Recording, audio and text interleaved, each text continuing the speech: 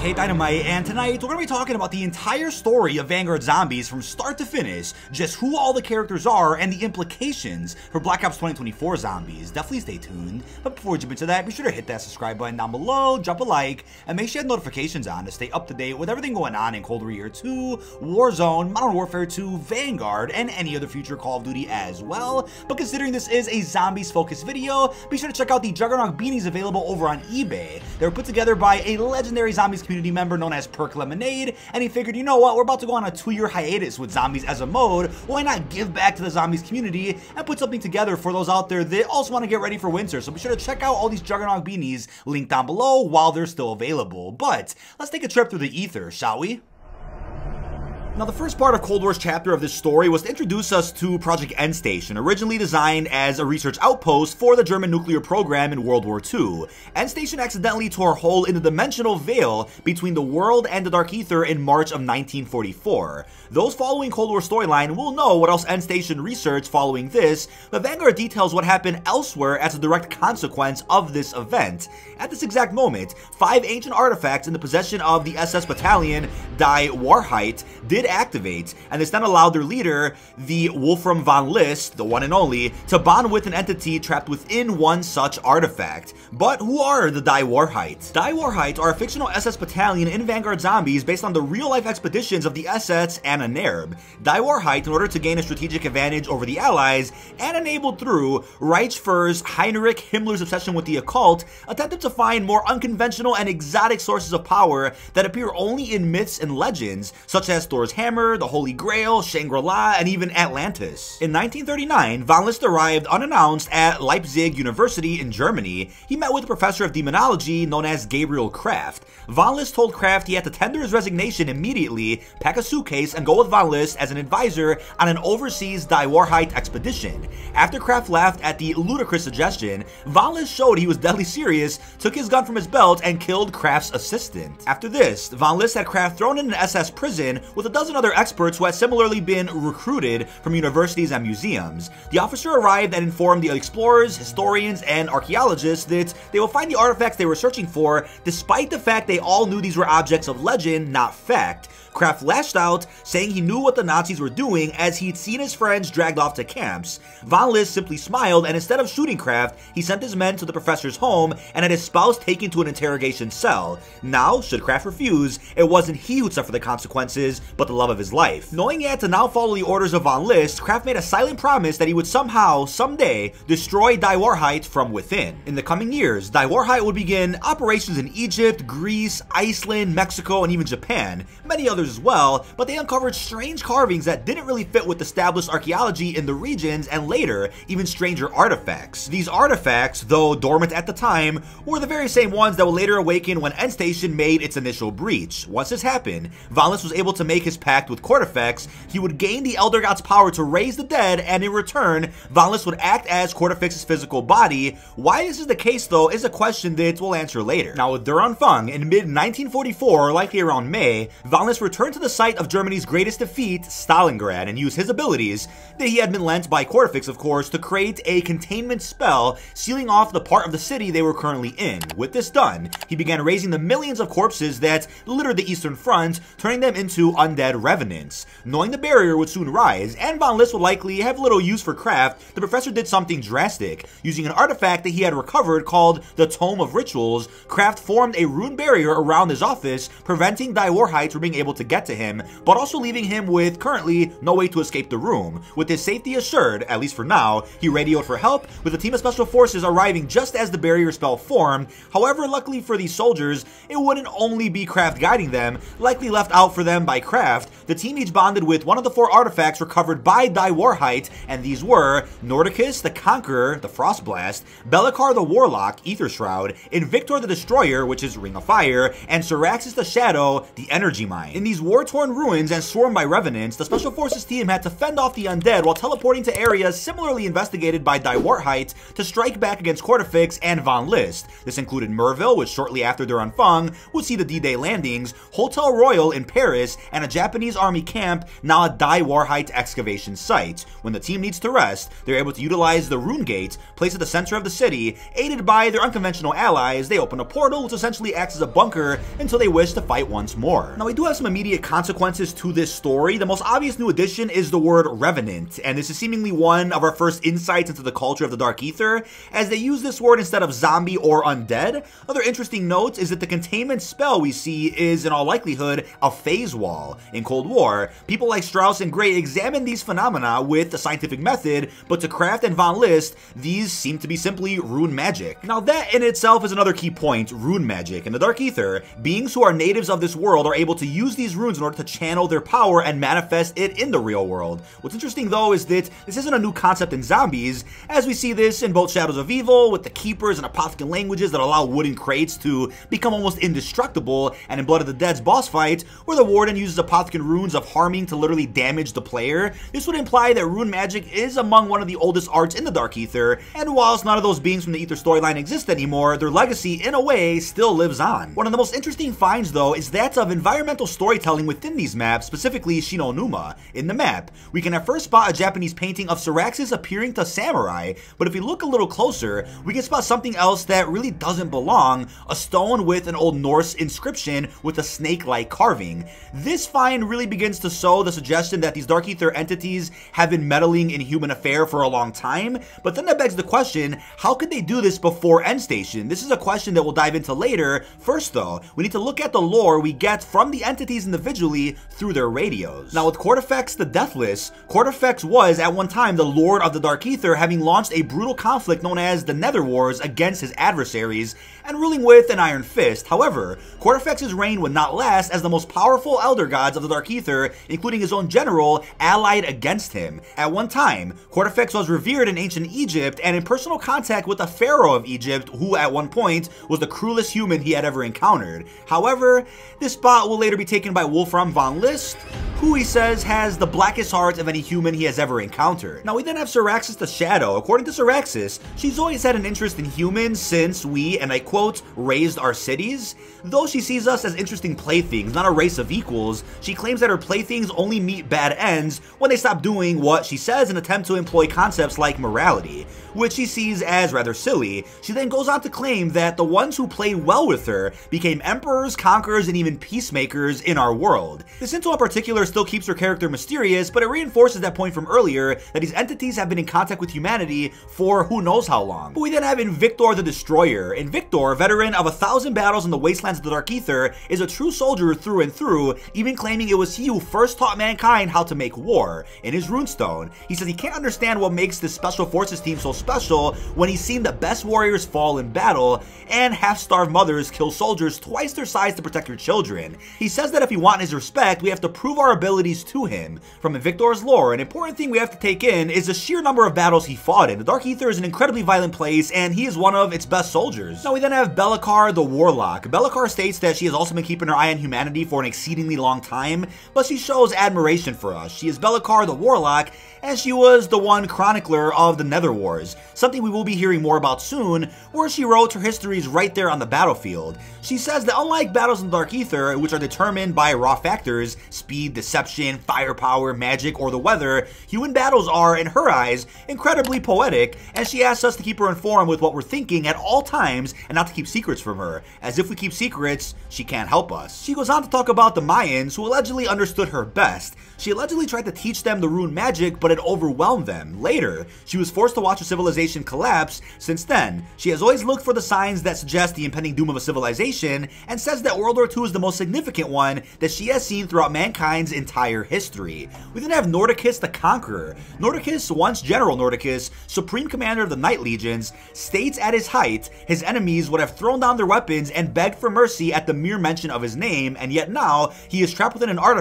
and bound to see what he sees as a pathetic bag of blood whose lifespan is as brief as it is meaningless. However, he resolves to get out of this most unfortunate situation and promises to hone our skills and make us unstoppable. He then says, and I quote, I save your world, you get me back to mine. He goes on to elaborate about the nature of the Dark Aether and how they have been in constant state of war since time began. Because Nordicus was the greatest general, Kortifex put him in command of his armies, then they launched the Nether Wars on all of Kortifex's rivals, but due to the Lord's cruel nature, Nordicus felt no loyalty, and when he saw their enemies unifying one by one into a single army that they would not be able to beat, Nordicus knew that he had to join the winning side. He tells us that when they joined together and toppled Kortifex's throne, he swore revenge, and he is now using Von List as a means to this. But these are like genies in bottles, so it's time we discuss the elephant in the room here. If these entities are from the Dark Aether, why are they acting as if they're trapped on Earth? The reason for this is because, in actual fact, these entities haven't been in the Dark Aether for some time and have been trapped within the artifacts, only now reawakening as the connection to the Dark Aether as it's reestablished with Endstation.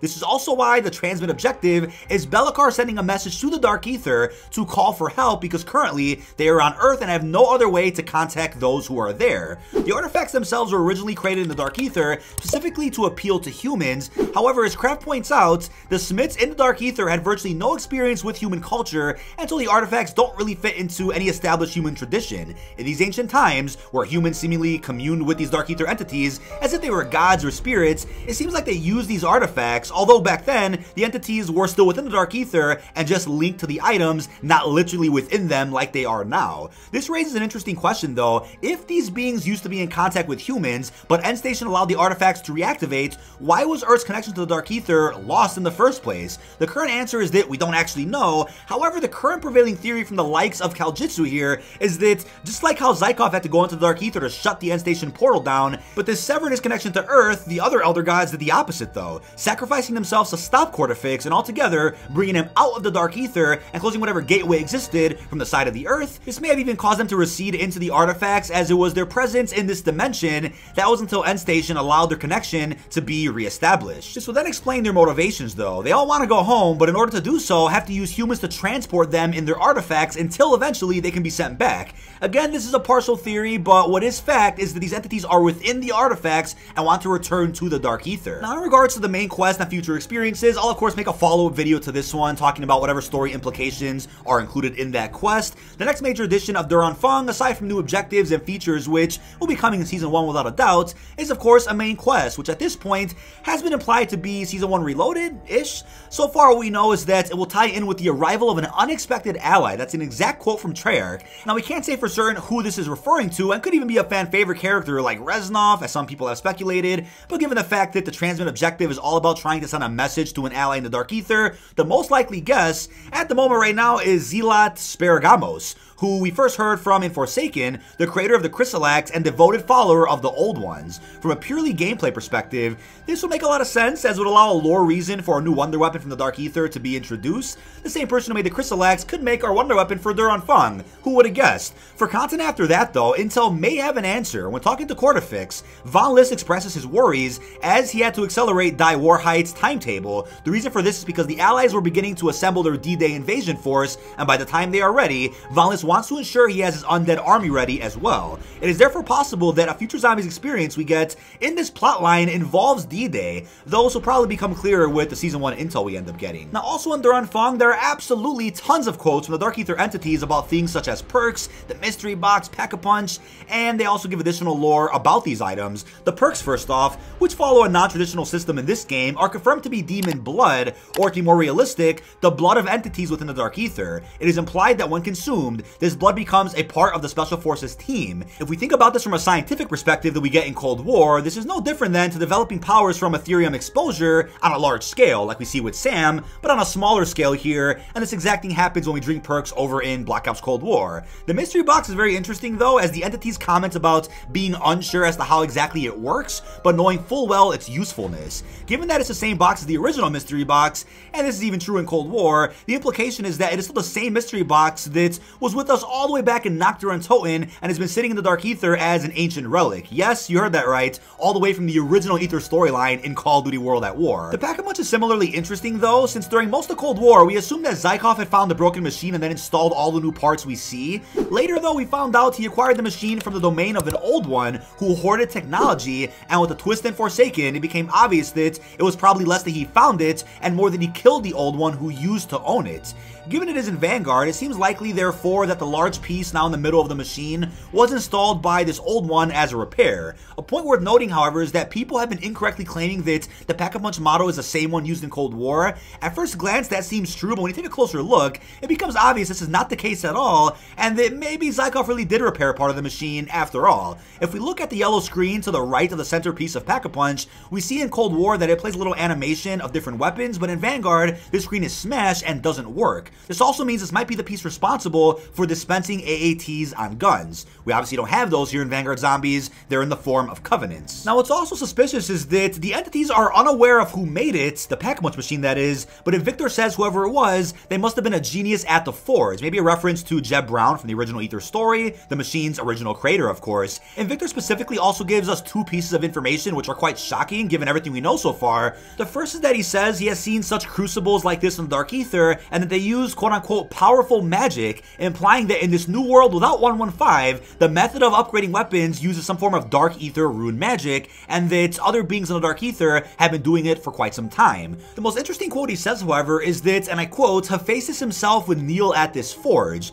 This quote is insane because for those who don't know, Hephaestus is the Greek god of smithing. This implies that either Hephaestus is a Dark ether entity who Invictor knew personally, and who inspired the mythological figure, or that Invictor is incredibly familiar with the ancient Greek religion. Don't worry if you guys missed out on some intel and Vanguard zombies, here's what's happened thus far. The entities in the Dark Aether have been fighting amongst each other since time began, even throughout the entirety of the Old Aether storyline, and all the while they were entirely, or at least in large part, unaware that there were any other realms outside of the Dark Aether. One day, however, this would suddenly all change. When Nikolai banished all the dimensions of the Aether to destroy it for good, the entities in the Dark Aether obviously took notice of the colossal amount of strange objects that suddenly appeared in their universe, forcing them to realize that they were not alone. After finding incredible devices like the Pack-Punch machine, some assumed that the species outside of the Dark Aether that created it must have been very advanced. When they gazed beyond the dimensional veil and eventually found Earth though, all they found were little more than cavemen. Despite this, some took interest in the new discovery and began to steer the course of human history, however they were never able to cross over physically, only appearing in fire and crystal balls and the like. Eventually, Saraxis and Be'lakor devised a way to interact in a more direct way through artifacts. They would create items that attempted to appeal to human cultures,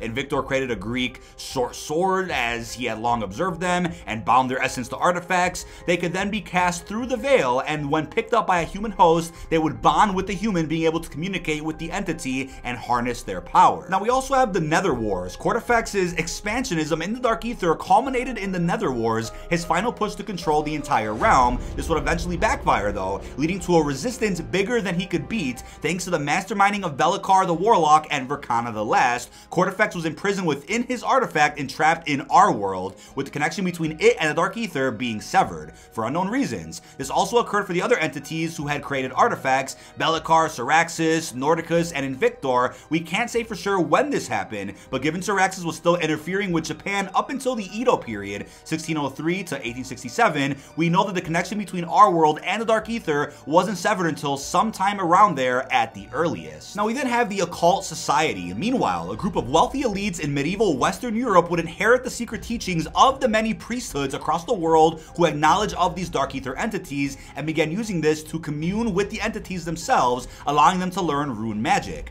a method of channeling Aetherium for specific purposes that had been used for thousands of years in the Dark ether. With their newfound power, they would become the Occult Society, and eventually compiling the Tome of Rituals as the culmination of all they had learned about the Dark Aether. By the 1920s, however, some disaster occurred within the Order that caused them to go into hiding, splitting the tome pages and placing them throughout the world. Now we also have Die Wahrheit. Following the onset of World War II, Gabriel Kraft, a German demonologist, was forced into servitude by Die Warheit in fear of the execution of his spouse, Sasha. Wolfram von List believed that Germany's key to victory lay in mythological sources of power and was blackmailing academics like Kraft to help find them. Kraft was able to locate scattered pages from the Tome of Rituals, which subsequently led him to the dormant Dark Aether artifacts still in our world. When Project Endstation punched a hole in the Dark Aether, however, these artifacts woke up. But now we have everybody's favorite map, Der Anfang. Von List, having bonded with Kortifex through his artifact, was now plotting with the ancient entity. He would get Kortifex back to the Dark Aether, and in return,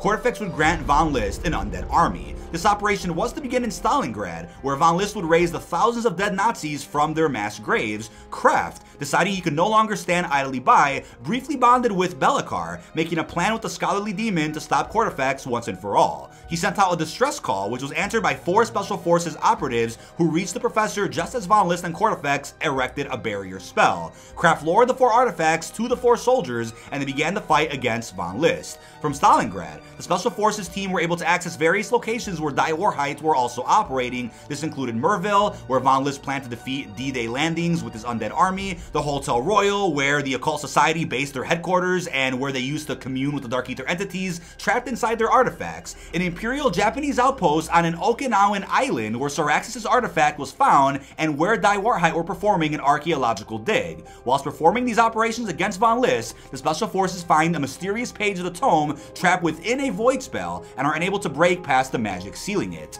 Be'lakor would repeatedly send messages to the Dark Ether until finally, her old ally, Verkana the Last, would answer, making an artifact so she could join us on Earth. Verkana creates a portal to the Eastern Desert where Die Wahrheit had recently blown up the remains of Kortifex's temple. That leads to Terra Maledicta, reaching the Egyptian desert. The Special Forces find the site mysteriously abandoned, and when overhearing radio communications from Von List, they confirm that all the Die Wahrheit personnel mysteriously vanished after detonating the explosives around them temple. They confirm that all the Die Wahrheit personnel mysteriously vanished after detonating the explosives around the temple. What was notable, however, were the Dark Ether crystals spilling out from within, now slowly consuming the surrounding area. With Verkana's help, the Special Forces resuscitate the Decimator, an old general of Kortifex's who was punished after a failure by being merged with his own shield and having his name erased. Wanting revenge against his old master, the Living Shield joins us and, with this power, allows us to secure the tome page thanks to his bond with Be'lakor. Kraft is able to see it despite being hundreds of miles away and, with some study, realizes it contains a secret to separating Von List and Kortifex. But now we return to Shi No Numa Reborn. We now understand why Die Wahrheit were still excavating the area because it also contained the relic created by Kortifex long ago.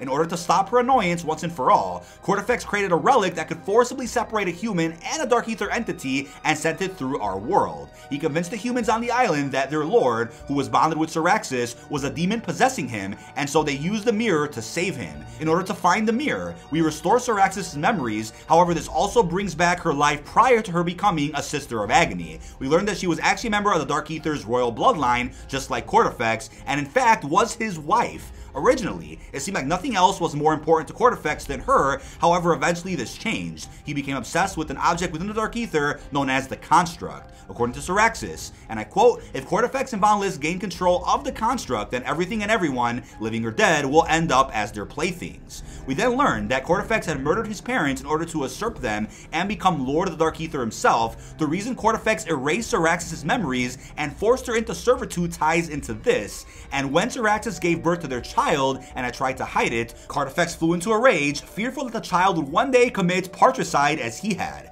Alongside his punishment to Saraxis, she claims he also visited bottomless cruelty upon the child, but more on that will be talked about later. Eddie's own master plan is still incredibly mysterious, however we know it requires a stable gateway to the Dark Ether as a major piece, and that is called Project Janus. Janus was the Roman god of beginnings, endings, doorways, time, and duality. If the construct, the source of ultimate power, needs two worlds to be able to be used, then perhaps it is a vital part of Project Janus. What is interesting about the construct is its similarity similarities to the MPD from the old Ether storyline. What makes this even more interesting is that, for those who may not remember, the Ether Pyramid was built by a small group of keepers after they began experimenting with the Dark Ether. It's therefore possible that an entity within the Dark Ether informed them about the construct and its overwhelming power, and it inspired them to make a device that was capable of the same power but for the Ether instead. This would theoretically make the construct the true cause of the entire Ether storyline. Some of you may also notice that, if this was the case, we would once again have a Richtofen striving for a source of ultimate power, which is a sort of thematic parallel that Treyarch loved. Now beginning with the return to Egypt, having now acquired the Relic Mirror from the Swamp of Death, Kraft sends his team back to the Egyptian desert for their final confrontation with Die Wahrheit.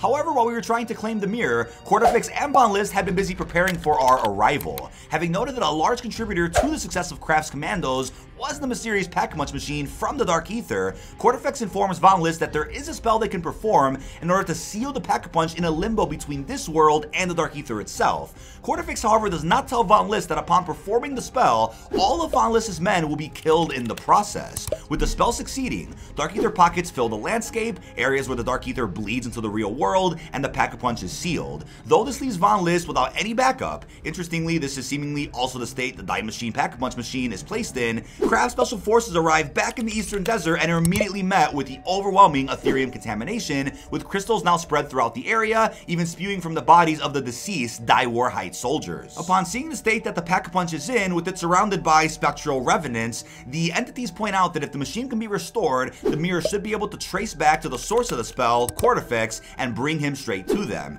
Repairing the machine, the Special Forces activate the mirror and finally separate Kortifex and Von List, with the Deathless's scepter now in front of them. Unbeknownst to Kraft and his allies, Von List's continual string of failures were in fact all part of Kortifex's plan. Every loss, from allowing Kraft to acquire the tome page, to finding the relic mirror, to eliminating all of Wahrheit with the spell, and now the spell's link allowing the mirror to find Kortifex, were all intentional and Von List was simply the man foolish enough to obey Kortifex's orders. Thanks to the Dark Ether pockets, Kortifex is able to manifest physically in front of the Special Forces team and thanks them for bringing him to his goal, the Construct. The Deathless then enters a rift to the Dark Ether, but just before doing so, takes one final action to humiliate Von List, teleporting him to face with Professor Kraft. Sniveling in cowardice, Von List begins to assist Kraft with his team, believing he can bargain for his life. When Kraft's team reaches Kortifex, they see him communicating with the Construct, a giant living monolith. He pleads with the Eldritch object to let him kill the Special Forces team, but it seemingly tells Kortifex no, and that he must abide by a set of rules, giving Kraft's team a fair opportunity to complete the trials.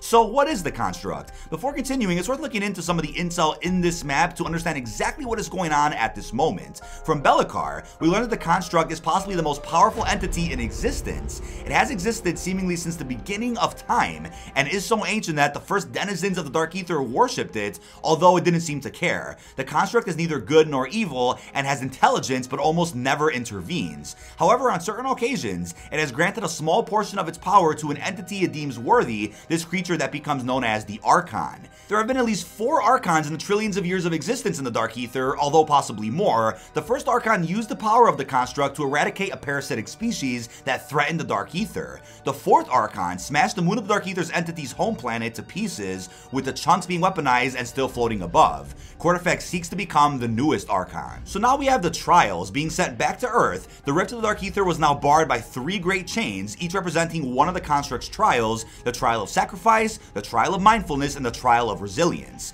These trials exist so that the construct can judge the worthiness of an individual, but passing the trials doesn't necessarily mean that said individual will become the next Archon. According to Saraxis, Kortifex actually passed the trials long ago, but the construct rejected him at the time, which only spurred his obsession. These trials may be somewhat difficult for us, but would clearly be easy for an elder god of the Dark Ether, so it's possible that, given the construct's sense of fair play and rules, that the trials are adjusted to the person undertaking them. Regardless, the Special Forces team proceed and with the help of their Dark Ether partners, are able to successfully complete the trials, reopening the way to the Dark Ether. Before they leave to finally confront Kortifex, Von List reveals that Kraft's husband, Sasha, was killed immediately after being taken into custody by Von List, and it was Von List himself who had written the letters to Kraft. Upon hearing this, the professor is filled with rage and executes Von List on the spot. But I needed you to keep working. Professor! Double appointments. I... I shot him. Von List is dead. That was ill-advised. We needed his counsel to stop Cortex. No, Nordicus. We do not need one list. Mortals have proven themselves So now, confronting the Archon, arriving back under the shadow of the construct looming ahead, the Special Forces arrive too late and witness Kortifex's ascension. He has now become the next Archon. Hope isn't entirely lost for Kraft's team, however. Thousands of years ago, when Kortifex's armies burned the wilds of the Dark Aether, it was just thought that all life there had been destroyed, but in reality, one life form was just laying dormant. These were the Anemones, and the overwhelming power of the construct had awoken them. While Kortifex was connected to the construct, he was, in effect, immortal. However, through using the Anemones and Dark Aether crystals, the team found an ingenious way of damaging Kortifex. Having allowed one of these Anemones to corrupt the crystal, and then throwing the crystal at one of the floating rock shards that hang above the Dark Aether, it causes it to be pulled into the construct, making Kortifex vulnerable. With great effort, the Special Forces team were able to defeat Kortifex, and as the construct disappears, Nordicus exclaims, let the bottomless depths of the Dark Aether claim his corpse, watching his old lord's body fall lifelessly into the darkest depths of the Dark Aether. With Kortifex defeated, many of the characters are left with uncertain fates. What we do know though is that Kraft survives and will possibly be a character relevant to the future of the story. Some have brought up an intel from Black Ops Cold War where Dr. Strauss alludes to a sacrifice Kraft has to make and have been confused that we seemingly don't get to see that. However, this is due to a misunderstanding about what Strauss says. Kraft was a demonologist and his life's work was a study of unexplained phenomena. For the first time in his entire career, he had found tangible proof that demons were more than just stories, and not only that, he himself had an impact on their world. In order to defeat Kortifex and set the world right, Kraft would have to sacrifice that, the potential of being the world's most renowned scientist, bringing a whole new field of study to light, instead returning to his university where he would live a seemingly unremarkable life. That is a sacrifice Strauss, now a scientist studying Aetherium, would also have to make in order to stop the Forsaken. Now in terms of what the future holds, while many threads are left hanging in a somewhat unsatisfactory place, we can look both to Cold War and beyond to see where they might end up. Firstly, and most importantly though, it's important to discuss Zykov. For a long time, it was uncertain as to how Zykov grew so powerful. We knew he consumed his enemies, and that is still likely true, as Nordicus quotes, let the bottomless depths of the Dark Aether claim his corpse. That can be taken to allude to that, but if we examine what Kortifex is able to do as an Archon and compare that to Zykov, it seems likely that Zykov too became the next Archon at some point. Both Kortifex and Zykov were able to use the powers of the Dark Aether entities at will. During Kortifex's boss fight, the entities are surprised when this happens, and so we know that this is not a normal thing. Zykov too does this, and so it seems likely he sources his power from the same source. Zykov also sees the future, an ability so powerful that only a source like the construct that can control reality itself could grant it. The key to understanding the construct is that it isn't an object like the summoning key or the MPD. Instead, it's one of the most powerful characters in the story, like Monty or the Shadow Man, and it has its own agenda. We can't know for certain, but one theory circulating at the moment is that the construct has its own master plan, and every Archon is made in order to get closer to this mysterious endgame. During the boss fight against Kortifex, we utilize the floating rock monoliths that are similar in appearance to, but significantly smaller than the construct, in order to damage Kortifex. It is possible that these are the chunks of the smashed moon mentioned by Be'lakor. If that's the case though, then it means that actions of a prior Archon that were seemingly without cause at the time contributed directly to the downfall of a future Archon.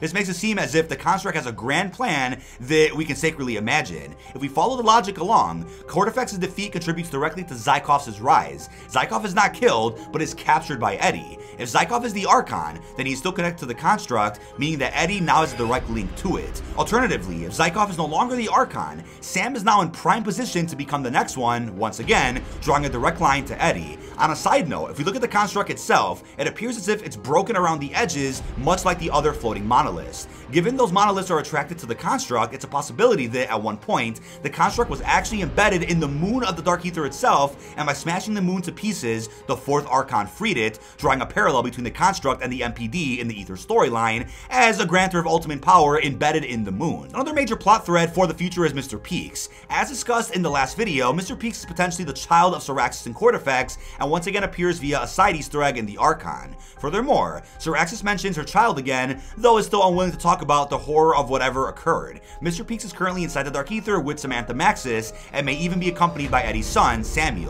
Now, knowing about the role of the Archon, yet another possibility is that Samuel is in line to take his godlike power. A final loose end that will likely fit into the next game is Gabriel Kraft. Now that we know he survives the conflict with Die Wahrheit, it's possible he plays a more direct role than we initially realized in the events of Black Ops Cold War. It is unlikely that Kraft is alive come the foundation of Requiem, as he is one of the most knowledgeable people on Earth when it comes to Dark Aether itself, and so he would have been the first person to be brought into Requiem, right? However, it is possible he contributed in a more indirect way to its foundation, especially given Kraft's notes are contained in Requiem archives. Whatever connection lies there may well be explored in the future. Now, although you may not have enjoyed the Archon as a zombies experience for one reason or another, we could all admit that the lore established in this map, which of course could have been better through a slideshow cutscene or some more radios, it still does set up a very interesting future for the Dark Aether saga, and I think the Vanguard zombie story acting as a prequel to Black Ops Cold War still helped us get up to speed with characters like the Construct, with our Dark Aether entities, with our field upgrades, knowing the backstory behind them. It still gave us some interesting foundation for what could then be explored even more in the next Black Ops game without having to waste time introducing us to those characters. Vanguard already did the job for us. But that is about it. This has been DK Dynamite. Leave your thoughts down below in the comment section. What are your thoughts on the entire story of Vanguard Zombies from start to finish, Der Anfang to the Archon? How are you feeling about the consequences of the Archon boss fight, the future for these characters, and what all this might mean for Black Ops 2024? Really hope you've enjoyed, and peace out, everybody.